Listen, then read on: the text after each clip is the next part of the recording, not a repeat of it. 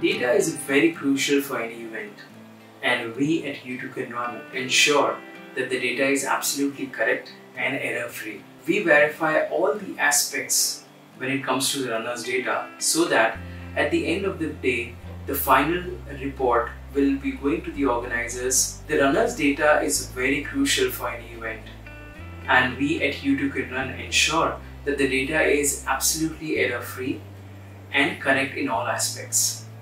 For that, our backend team verify all the data which is there with us and the final report is sent to the organizers and the timing partner so that at the end of the day when the runner runs the race, he gets proper timing and the data which he wants.